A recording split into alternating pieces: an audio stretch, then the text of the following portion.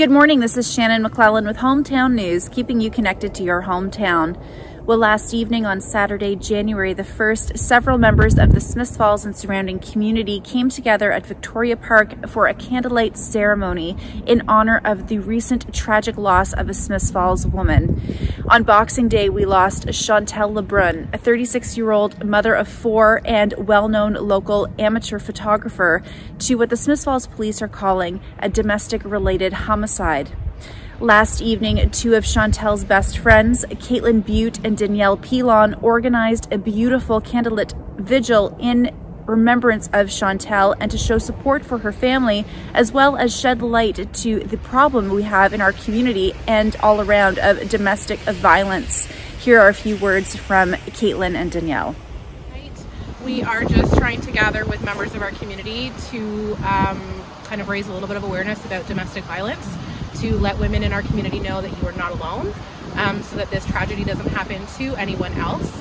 Um, we also want to avoid the negativity tonight and we just want to make sure that uh, light that we all knew is continued on and to show her children that there is a community of people standing behind them, supporting them, loving them from near and far.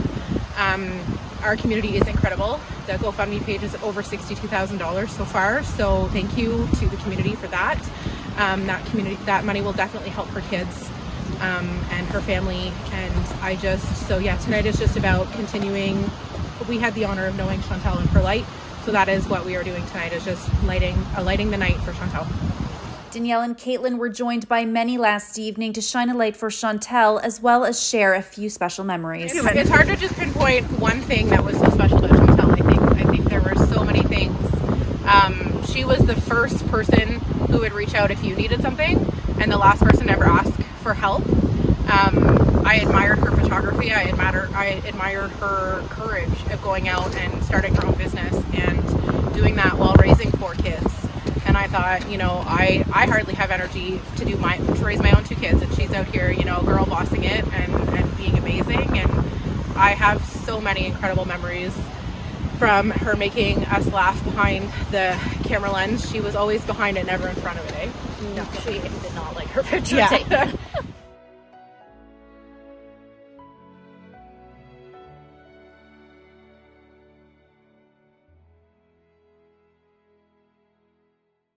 I went to uh, many Sens games with her. That was kind of our thing. So I have so many memories about just being at the rink and we had a, passion for hockey and, and, going and spending time together.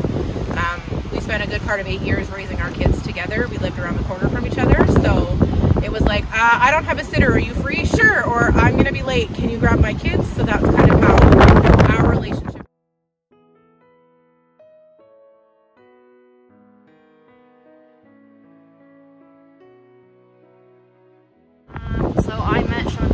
I was 16 years old and we started working at Walmart together.